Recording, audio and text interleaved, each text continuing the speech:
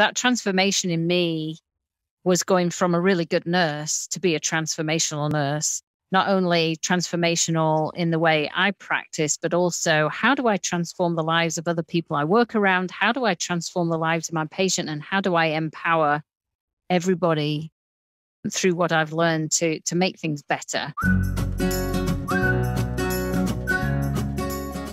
You're listening to the Happy Doc Student Podcast, a podcast dedicated to providing clarity to the often mysterious doctoral process.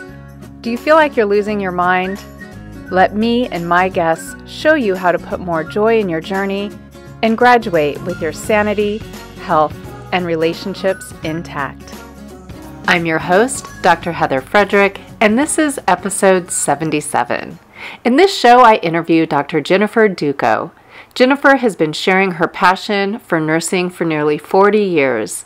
She is a graduate of the Florence Nightingale School of Nursing in London, England, and received her Master's of Science in Nursing Administration from Walden University and her Doctor of Nursing Practice from Aspen University. In this episode, we discuss her journey and the transformational nature of a doctoral degree. Jennifer, welcome to the show. Thanks, Heather. Great to be here. I would love to start with you just reflecting back on where you were in life and what was going on that caused you to make this decision to start your doctoral program? So I finished my master's of science in nursing in 2013. And uh, I made a very, very good friend on that course. And both of us were like, oh, we're done. And oh, maybe six months, a year later, we started saying, hmm, really miss school, really miss diving into evidence based practice, really miss the whole environment that we that we have going on, you know, in our work lives versus what we were doing and the progress we were making and the personal growth we were seeing when we were in school. And so that friend and I, after about a year, started saying, well, maybe we should start looking. And then it was, well, we both got gray hair. Oh, I'll speak for myself. She doesn't have as much as me. Anyway, she, we started looking and saying, should we go to school? Should we do it at our age? And we went back and forth and we'd have discussions on the phone. Yes, no, yes, no. And then I started looking. I was like, I don't know if I want to invest that much money in school at this point in my career. She said the same thing, but we kept looking. And and then Aspen University came along and she had called me and she said, I've just been at a conference. You have got to check out this program because I think it meets our needs. It is a doctoral program and it is super affordable.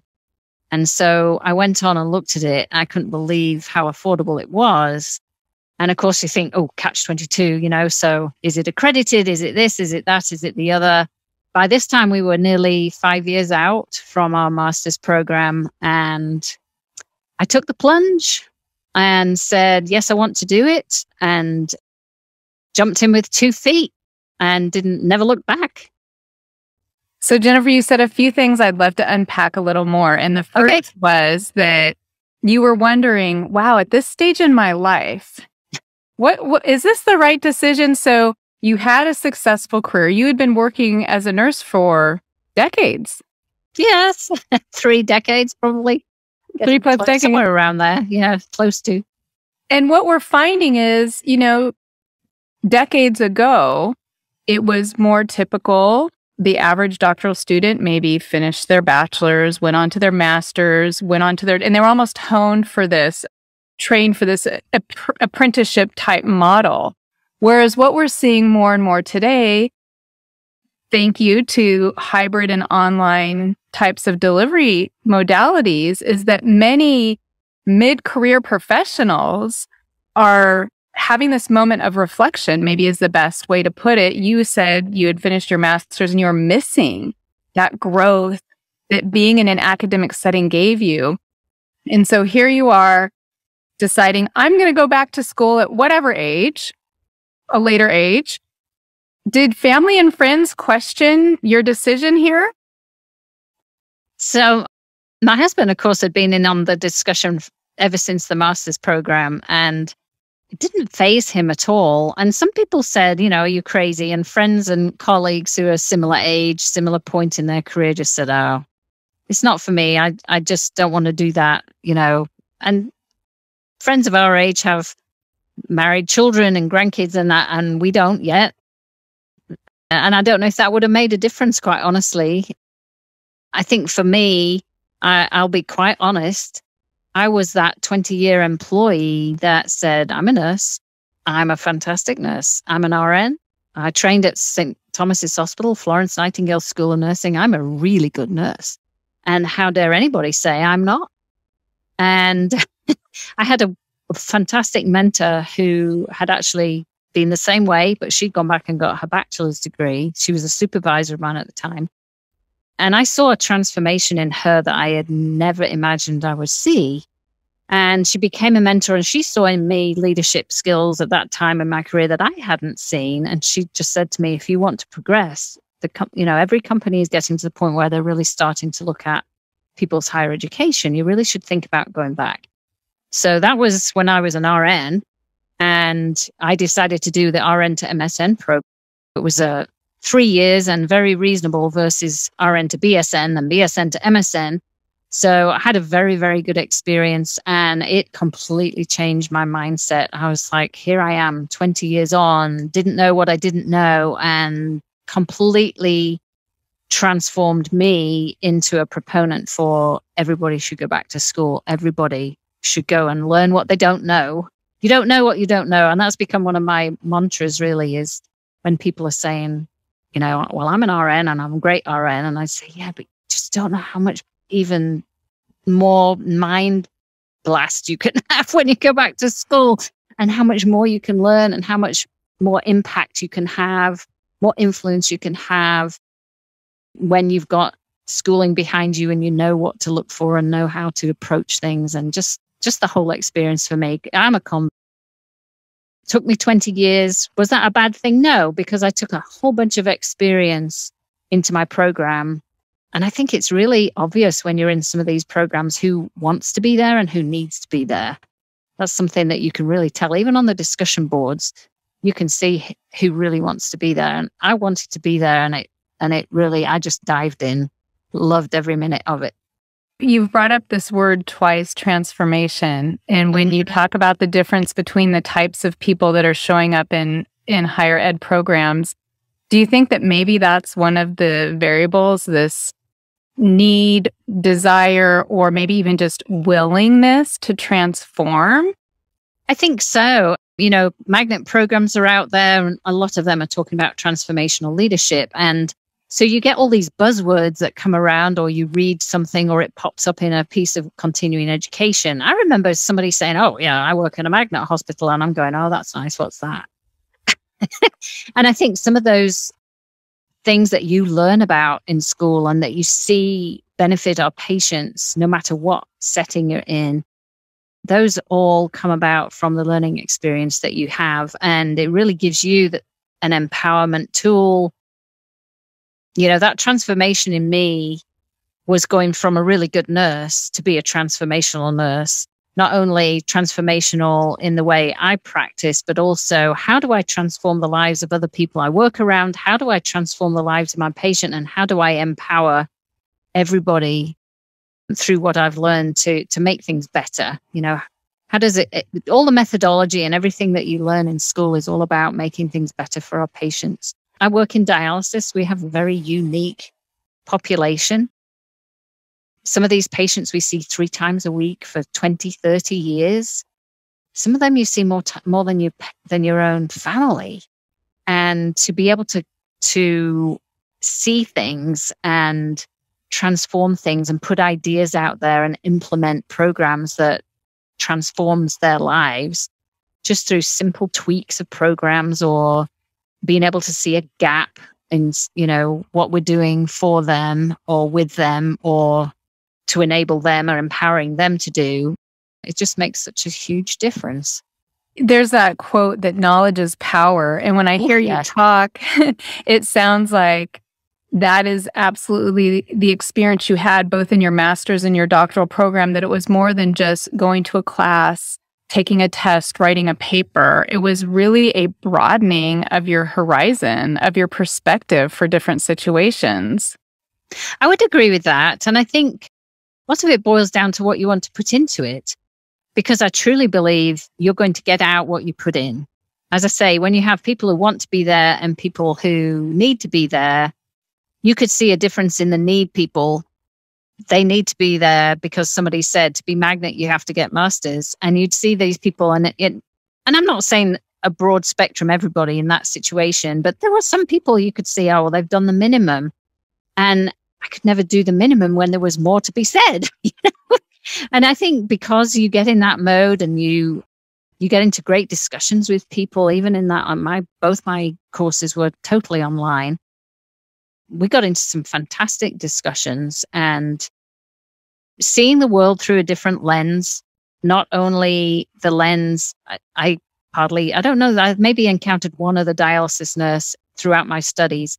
Everybody else was in completely different settings from flight nurses to ICU nurses to psychiatric nurses. I mean, every, every path that a nurse could take that have been through these programs. And it was fascinating to me. You know, here was I, my little blinkered world of dialysis going, well, Centers for Medicaid and Medicaid Services and Medicare are just, you know, really the people who we need to look out for. And it's only us that get affected by their decisions. And then all of a sudden you're in this discussion and it's like, well, CMS expect this of us and CMS expect this of us. And you're going, oh, you know, just even something as simple as rules, regulations, Medicare, Medicaid, reimbursement, all that stuff that we get so embroiled in in our jobs. And it was like everybody's dealing with this. And just a fascinating way to, to be able to see that broadened horizon and that broadened knowledge of we're all in this together. How can we help each other? So your programs really gave you the opportunity to diversify your network. Yes, for sure. For sure. Yeah. And I'm curious, you mentioned that a friend was coming along with you on this journey. How important do you think that was as you were going through your program to have that? So, this friend is an interesting story that because this friend actually I made in my master's program. She was somebody who obviously wanted to be there. And she and I used to get on discussion boards and we pretty much paralleled our courses all the way through our master's program. And when we were in our, because we did RN to MSN, we were in our, as it were, undergraduate, and you have those lovely group assignments that everybody loves, hmm. she said. And the two of us decided we'd be editor one, editor two in some of these groups. And of course, you got people who sent in work that was a little less than par, and we were not going to not get an A because of somebody's less than par work. So it became very obvious that we had same sort of goals, similar sort of thought processes we ended up spending hours on the phone doing all the group projects together to you know send stuff back and please fix this or you know putting our projects together. And be, we became firm friends. And would you believe i'm in tennessee my friend was in new jersey and my husband's family one of them got very very very sick and went to my friend's hospital. My sister-in-law had a brain aneurysm that burst and she went to the icu and the operating room where my friend was at this hospital. And I called her up and I said, Isn't this the hospital that you work at? And she said, Yep. And I told her what was going on. And she hung up. And 30 minutes later, she called me and she said, I am here with your family. Wow. And it really was a wow. And talk about firming a friendship because she spent hours with my family, supporting them, loving them, you know, get very emotional about it. But she is a lifelong friend. And even my husband, who flew up to see his sister that night, sent me a picture the next day with the na. I got to meet her in person before you did. so this friend, she works at a, a hospital in New Jersey. And so we went through our master's program together.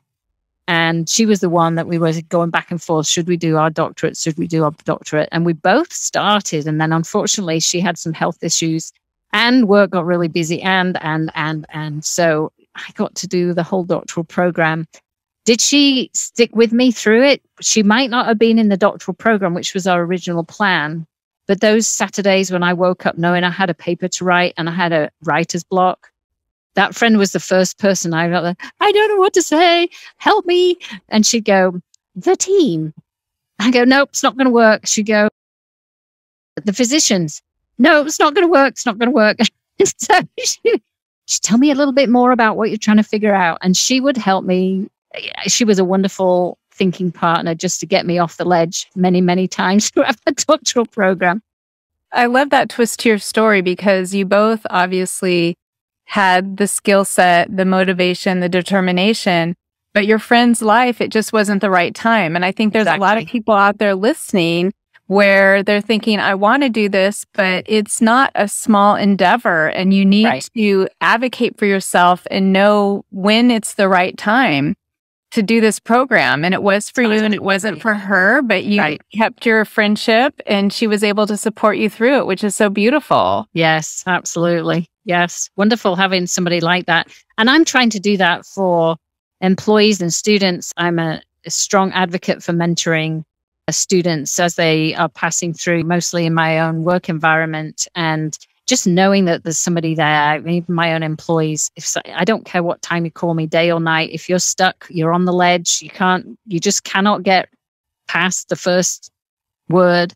You don't know where to start. Call me. I'll, I'll think through it with you. I'll help you. I, I took, took lessons from my friend, the team, the head of the floor, the, the DON, chief nursing officer. Where do you want to start? No, won't work. Okay, well, let's think of another angle. We'll get you through it. Don't worry. well, Jennifer, I'm curious. You are reflecting on so many positive experiences and memories of going through your education, all the benefits. Was there any time during your doctoral program where it felt like a real challenge or a real struggle, or you were thinking, this isn't what I thought it was going to be? Yes, I think the hardest course for me was the very first course in my project, where the pace of putting together chapter after chapter after chapter was more than a full time job. So I was working a full time job. I would literally, I don't know if my if my husband didn't know how to cook, I, I'd I'd be half the size now because he fed me. He he brought cups of tea to me all hours, day and night. But I would literally finish work and I'm remote working. I'd go downstairs, I'd have my dinner, and I'm like, see you later. And it would be five, six hours every night, 14, 15, 16 hours at the weekend. And at the end of that, I just said, I, I don't know if I can do this. There was no work life balance, which I had managed to achieve. I was in tears many times. And luckily, I have a husband who said, It'll be okay. It'll be okay tomorrow. Just keep going. It'll be okay. And I actually took eight weeks off after that course. I needed a mental break. I needed some mental time to process I, I just felt like I was drowning and the water kept doing this and I'd come up and then, I'd, you know, week after week. And there was some, there was some hiccups, technical hiccups with papers not getting the comments on them and professor who was upset that I hadn't made corrections. Well, I hadn't seen corrections because there was a technical hitch and it was just, it was a vicious cycle of, of quite a few things that compounded the stress levels to say the least. My hubby was the biggest one to say, you can't give up at this point and uh, just go back. It'll be okay. And I had a very supportive school. I had a situation with, with a professor and it speak up. If you are not getting on with a professor, speak up. I think there are some people that don't get on with a professor or they get annoyed or ticked off at the way something's happened. And rather than speak up and say, could I change? Could I do this again? Could I have a different professor? That made all the difference in the world. So again, you've got to advocate for yourself. And I think in how you approach maybe issues that you're having, be an advocate for yourself and ensure that you don't just give up, especially when you get way through a program and you had an end goal when you started it. It wasn't to give up, it was to finish. yes. And you know that pacing that you bring up when you get to either the project stage or the dissertation stage is something that everyone brings up. You said before you were able to maintain a work life balance. You had your courses, you were working your job. Maybe you're even making some of the meals. And then boom, it's almost like you hit a wall. You get to the last phase of the program and people aren't ready for it. It's almost like I will often say it's almost like having a baby. People can tell you Things are going to change when that baby gets here and you have the nursery painted and you've got the fridge stocked and you think you've got every T crossed and every I dotted and you got this. And then the baby comes and you're like, oh my gosh, they were right. Yeah. Yes, I, I would agree with that. But it sounds like you had two things that kept you really anchored and on course. And that was a very supportive partner, mm-hmm. which is huge. Absolutely. So, yep. all of you out there listening who maybe maybe this is a great time to thank someone who's been there to remind you that tomorrow's a new day. Or maybe it's a conversation you need to have if you need more support that you're not getting. Because often I've heard from family members, partners say, I don't even know how to support someone in this endeavor. They're chronically stressed, they're overwhelmed. I, I, don't even know what to say or how to support them. So to just open up those lines of communication. But secondly, it sounds like you always knew your why. You always had your eyes on the prize. You knew why you were doing this and you weren't going to give up. Yeah, I would say so. And the other thing was, I wasn't time bound. You know, at first you go into a program and they say, oh, you can do it in X number of months. And I looked at that and said, Well, I don't think I want to do that. One of the beauties of the course I did was that they have an every two week start, which for me is fantastic because I would say, Oh, I could take a course and take two weeks off. I could very much arrange family vacations. And I think that's important. Don't just go course over course over course over course. I'm a big proponent of taking a break, coming back refreshed, being more productive when you've taken a break and I think that was huge for me too. It was, I could have done it in, I don't know, I don't know what they say, 26, 28 months. And it took me three years. It was right at three years. And that was a decent pace. As I said, I took eight weeks off, but I was like, oh, well. just, just like naps, I'm a big proponent of naps. I'm also a big proponent of breaks if that's what your body, mind, and spirit are calling for, because yes. honestly, I have seen it where you're not just extending your program by X number of weeks. Often you're actually finishing earlier because you're preventing the burnout. You're preventing yes. problems at home. You're preventing problems at work that are going to cost you time and energy later. You're preventing health problems. You can't do this if you're not on top of your game. So yes breaks, some people are really against them because, yes, there is some research that shows if you take a break, you might not come back. But I argue, well, if you take a break and you don't come back, you've made the decision that's best for you. right. right. I think the other thing, you know, I, I took on a new job right at the time during that whole stressful period, that first eight weeks. I happened to get a new job too. And it was insane trying to learn a new job, trying to write. Yeah. And that break was exactly what I needed to get my feet on the ground over here, take a break, take a breather. I think I had a vacation in there and I didn't expect to take eight weeks. I thought a couple I would do it. And I wasn't ready after a couple. And I said, well, what does it matter if it's two, four, six, or eight? Class will start again. I'm going to go back and I'll feel better sorted over here in my life instead of everything being completely stressful. So took care of one stressor over here while giving this one a break. So I was in good shape when I went back. Yeah, the program will always be there, but your health or your family or your job might not be, right? Right. So I'm curious, do you mentor doctoral students now? Yes, I've got two doctoral students and I've got lots of them pinging me all the time. So I'm sure we'll, that I'll get into more, but I talk to many of them. They'll call and ask for advice on things. And it's one of the things I absolutely love is coaching and mentoring people. It's very much something that makes me very happy just to be able to be a thinking partner with them. Or if they're looking for advice, I can tell you what it was for me, but you got to figure out what it is for you. Think about this, think about that. Each individual person is so very different.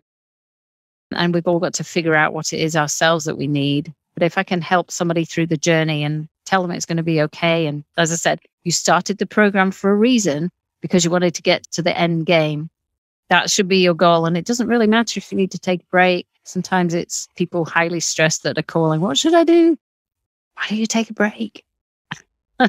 Often I will ask towards the end of the podcast if you have any final words of wisdom or a favorite quote that you use to get through the program. And I, I love this take a break if you need to take a break.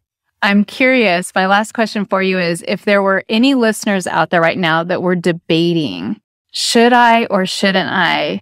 Maybe it's too late. Maybe my ship has sailed. I don't know that this is the right choice for me. Do you have any common things that you say to them or, or bits of advice that you give? I will say to them, there's a reason you're thinking about doing it. And myself, I, I'm 30 odd years now in the profession, and I'm lucky enough, I, I could approach retirement at any point from this point on. And I know that as my brother retired early and he said to me, Oh, now you've got your doctorate, you can retire at the pinnacle of your career. And I just thought that was a wonderful thing to think about was, you know, there isn't another terminal degree I want to do. I really feel like I've gained and used all this knowledge. Uh, I'm not ready to retire. But if you're thinking about it, you're thinking about it for a reason. There's something niggling at you. Uh, and don't think of it as a sprint, think of it as a marathon. And if you were to finish your doctoral program in three years' time and retire the next day, wow. Jennifer, thank you so much for sharing your story, your experience, and your words of wisdom with the listeners. It was such a joy to chat with you today. Wonderful to chat with you. And I wish each and every one that listens good luck if they decide to journey. It's a, it's a fantastic journey. Thanks so much for listening, and I look forward to connecting with you on the next episode. Until then, I'm wishing you more joy in your journey. The Happy Doc Student Podcast is brought to you by expandyourhappy.com, and you can learn more there.